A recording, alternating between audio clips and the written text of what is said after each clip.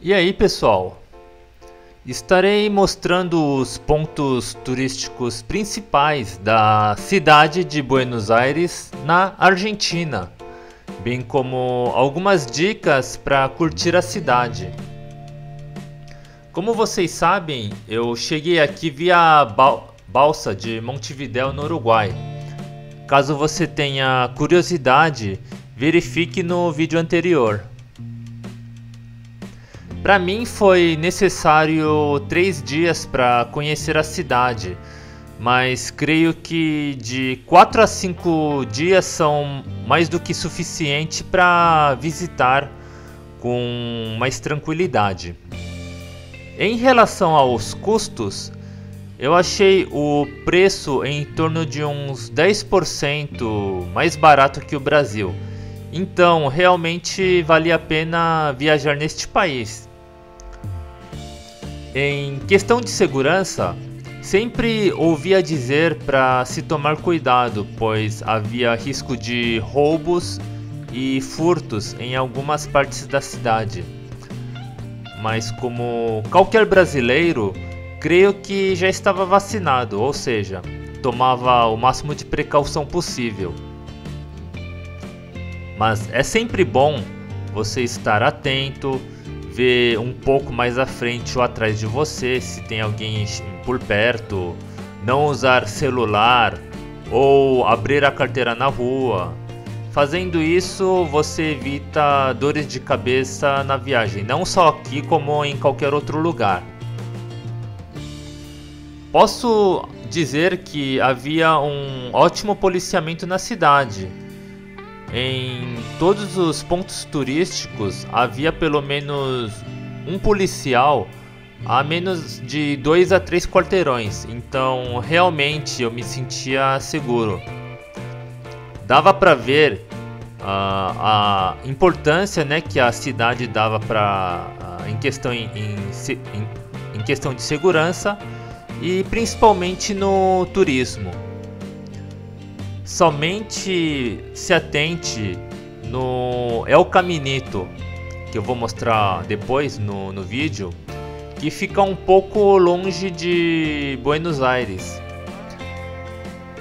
Lá, se estiver bem no ponto turístico, você não vai ter grandes problemas. Mas evite se afastar muito do ponto principal, porque as ruas eles começam a ficar um pouco mais vazias. Então, você, é, assim você evita possíveis furtos ou, ou roubos. Para você se locomover, use e abuse do Uber quando for num local que não é coberto pelo metrô.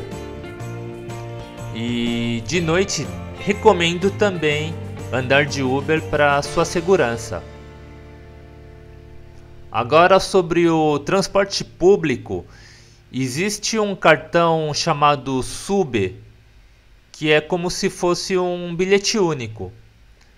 Sem ele, você vai ter muita dificuldade em utilizar o metrô ou ônibus. Então eu recomendo você comprar.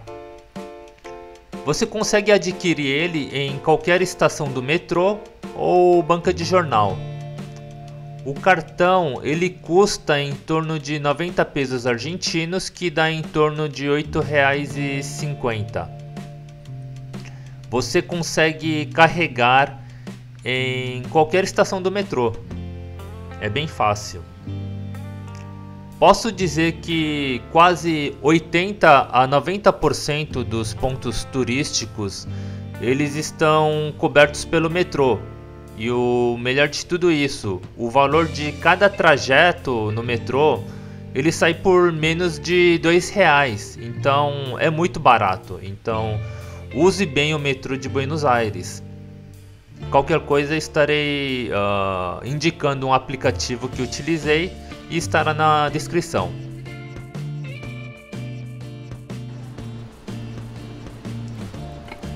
Esse é o metrô de Buenos Aires. E o cartão SUB, que irá facilitar as suas viagens. Recomendo você seguir a ordem dos passeios que está no vídeo, pois geralmente eles estão todos linkados e ficam tudo próximos e dá para ir a pé.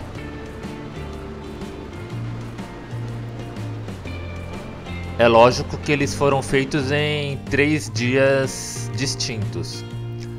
Aqui é, é a Plaza Grau Lavalle e ele fica bem próximo ao Teatro Colón,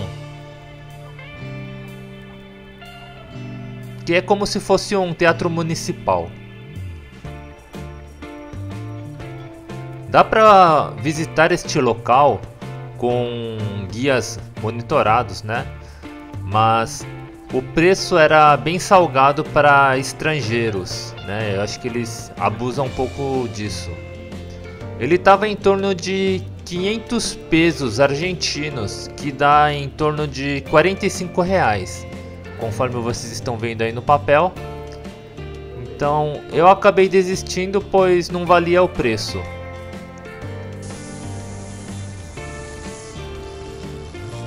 Agora temos aqui o obelisco com as iniciais da cidade. Ele fica perto do Teatro Colón, dá para ir andando.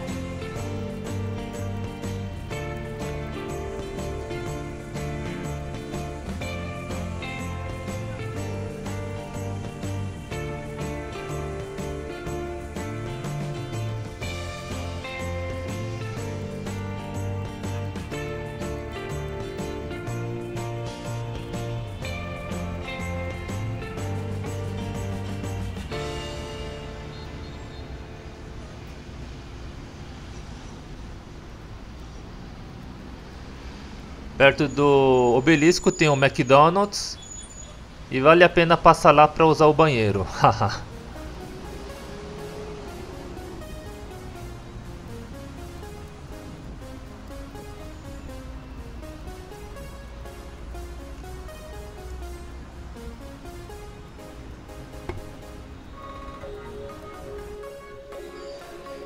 Andando um pouco mais, temos o Café Tortone, Geralmente as pessoas vêm aqui para fazer o café da manhã. Eu aproveitei para fazer um simples lanche e apreciar o interior do local, que é fantástico. Uh, venha um pouco cedo, pois senão uh, terá que fazer fila para entrar. É um pouco caro, mas vale a pena a experiência. Eu recomendo muito.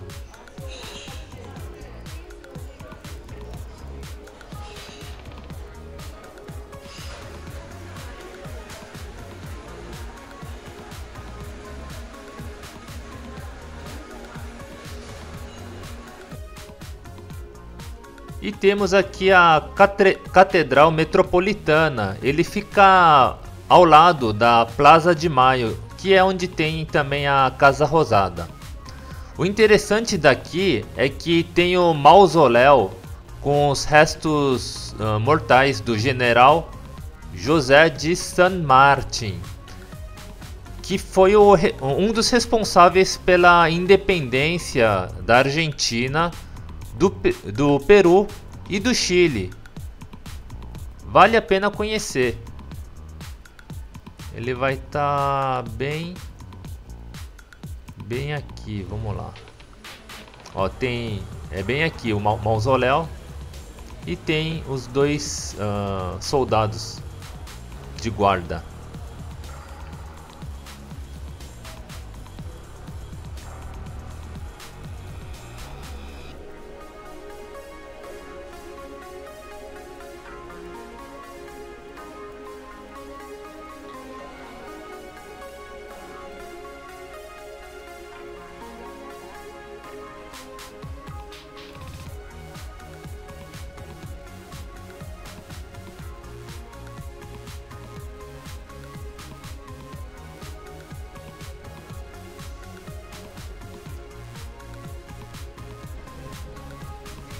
Saindo da catedral, a Plaza de Maio.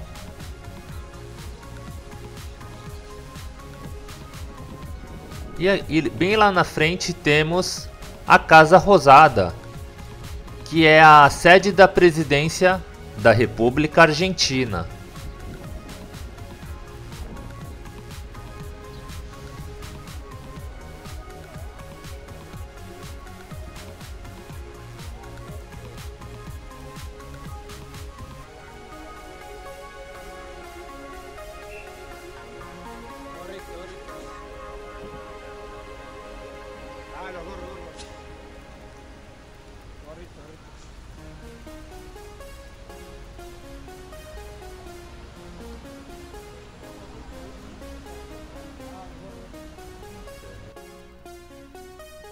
Aqui a Basílica da Nuestra Senhora de la Merced.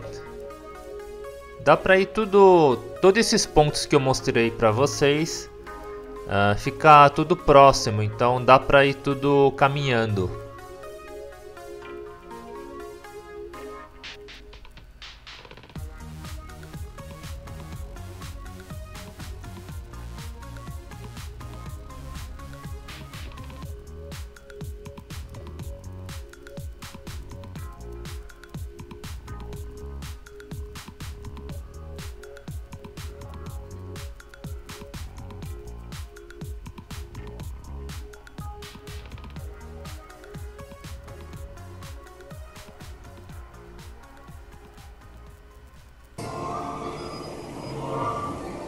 Após isso, chegamos aqui em Santelmo, que é um bairro, e na Plaza do Rego, com um show de tango ao vivo. Recomendo visitar o bairro Santelmo somente de domingo, já que nesse dia específico é que acontecem as feiras de antiguidade e artesanato. Fora isso, outros dias ah, você vai ver apenas ruas vazias, então não vale a pena.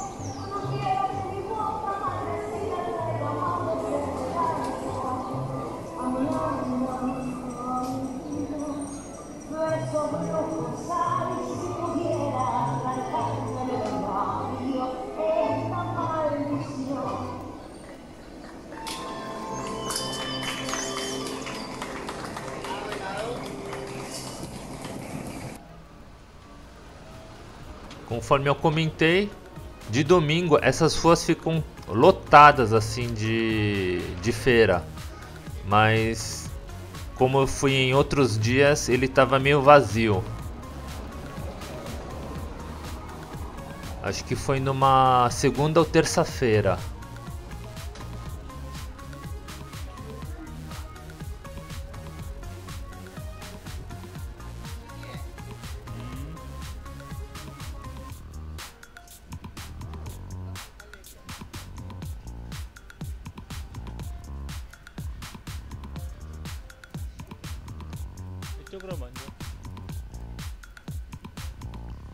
Daquela rua que eu caminhei anteriormente, se você for um pouco mais até o fim,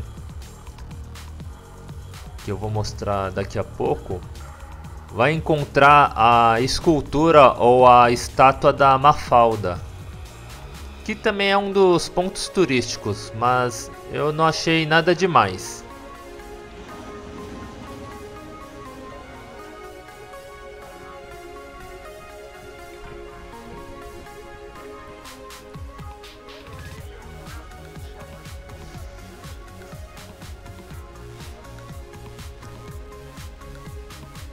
Agora em Puerto Madeiro, que na verdade é um bairro é bem grande e é de classe média alta. Aqui os parques uh, da região eles eram assim bem bem grandes. As ruas eram bem limpas e arborizadas. Os prédios uh, eram de alto nível, né? E grande na parte residencial não se tem muitos restaurantes. Então você tem que ir próximo ao rio para ter boas opções de restaurantes.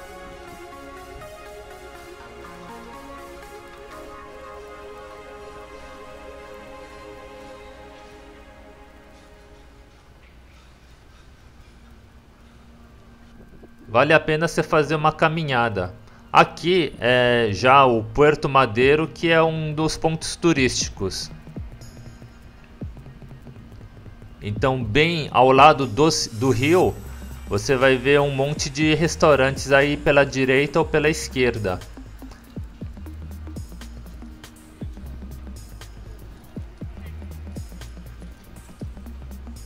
Vale a pena visitar de dia e também de noite, pois cada um tem o seu charme. Os preços posso dizer que varia muito de cada restaurante, vai ter que pesquisar vendo o cardápio de cada local.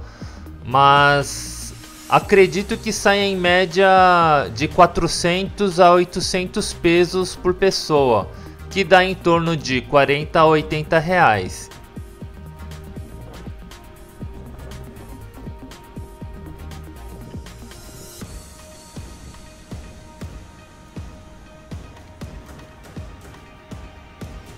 Aqui temos a Fragata, que é um museu. É um museu assim bem barato, tava custando uns 20 pesos, que é em torno de dois reais. Vale a pena visitar. E lá na frente, a Puente de la Mujer.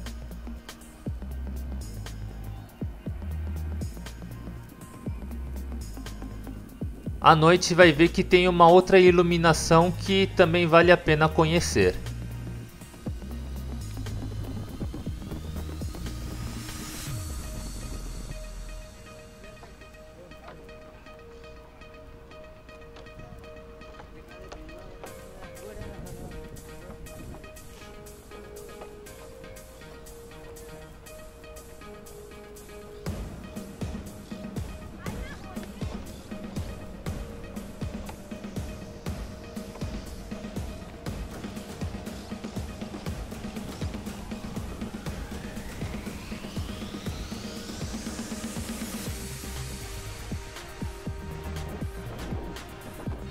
Este é o museu que eu comentei anteriormente.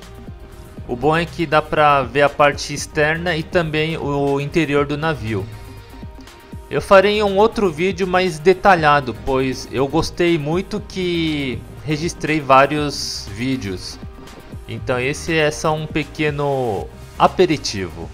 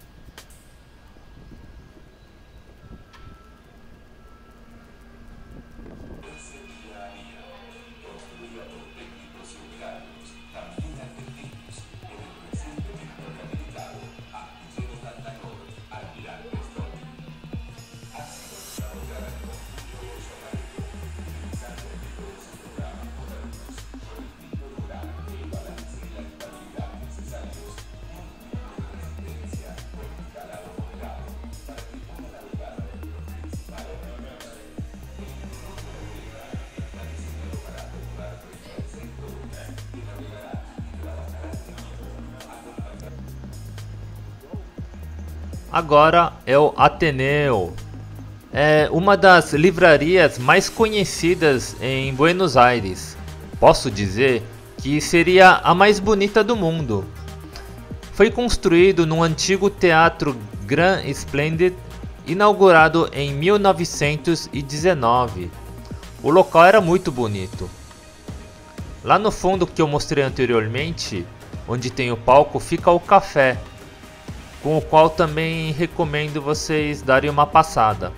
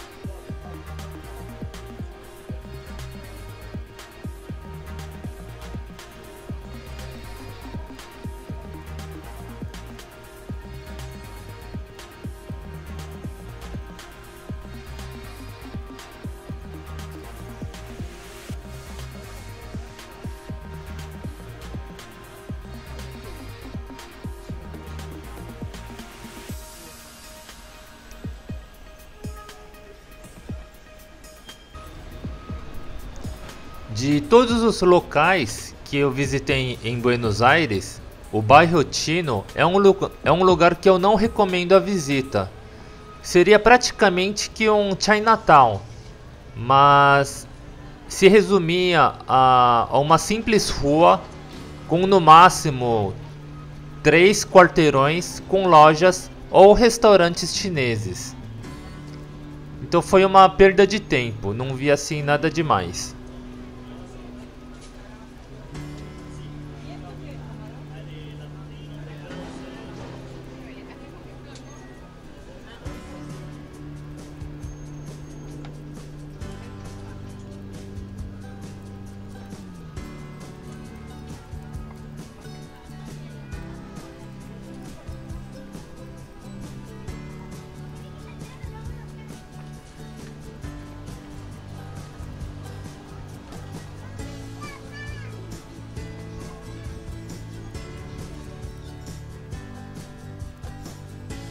Esse era um dos caminhos que fiz entre diversos parques que está tudo amontoado para se chegar no Bosque de Palermo, que, que vai estar tá mostrando logo a seguir.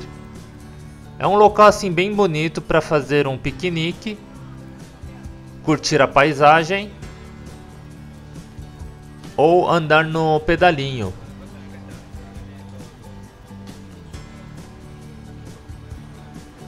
Ou apreciar os restaurantes que estão uh, nesse, nesse local.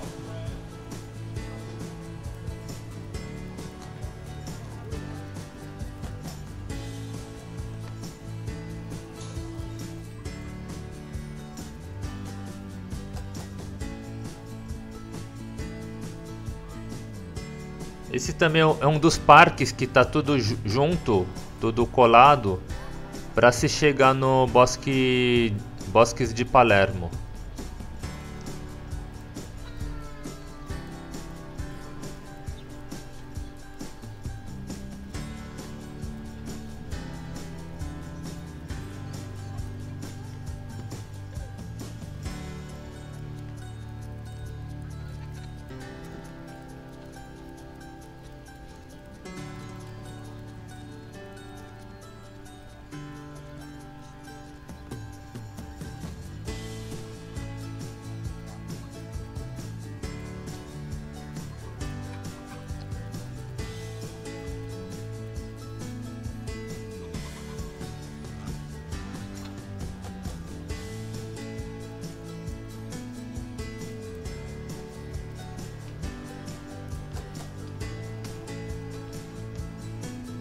Aqui a ponte que dá o acesso entre os vários parques que estão amontoados aqui.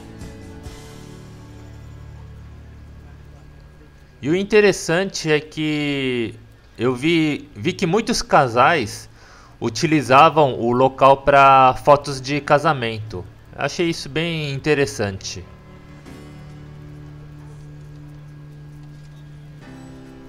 O ponto ruim daqui é que tinha poucas árvores com sombra, então em dia de sol vai ser pouco cansativo.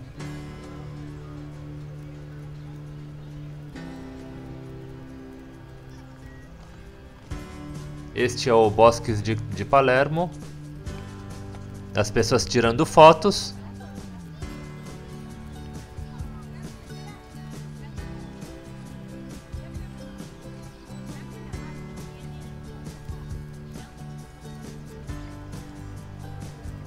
E depois que você conhecer o Bosque de Palermo, você caminhando de 20 a 30 minutos a mais, você vai visitar o Jardim Japonês. Mas eu não recomendo lá porque lá tem que pagar para visitar. Então foi um dos locais que eu fui lá. Quando soube do valor eu acabei desistindo.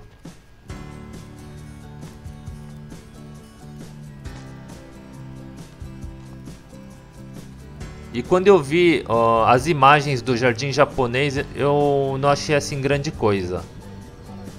E aqui temos o El Caminito, que fica um pouco afastado do centro de Buenos Aires. Não tem metrô por perto, dá para chegar de ônibus ou Uber, que foi o meu caso. Recomendo não se afastar muito né, do ponto principal, pois você saindo um pouco mais as ruas eles meio que ficam vazias e o policiamento também já diminui um pouco. Eu farei um outro vídeo detalhado do local. É ótimo para você fazer o seu almoço aqui, vendo pequenos show de tango.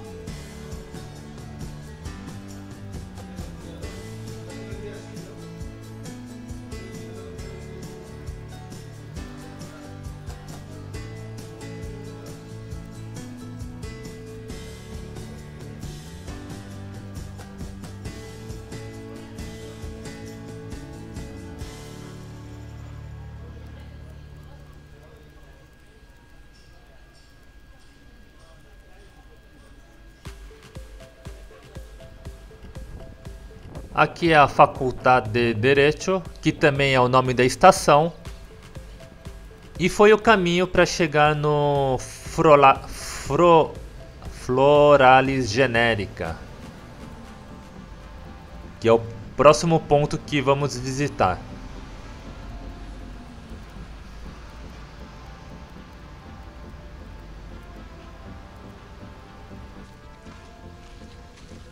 Aqui é uma escultura metálica feito em 1943, localizado acima de um espelho d'água. Ele tem 23 metros de altura. A flor é de aço inoxidável com esqueletos de alumínio e pesa 18 toneladas.